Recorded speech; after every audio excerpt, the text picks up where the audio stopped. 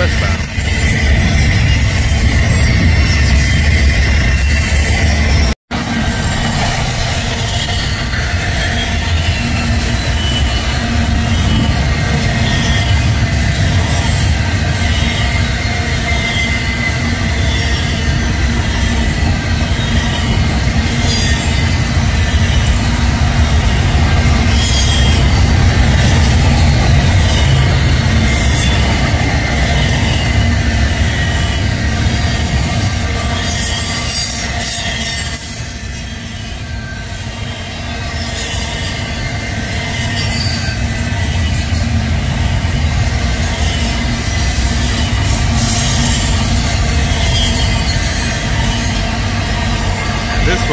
By Zero.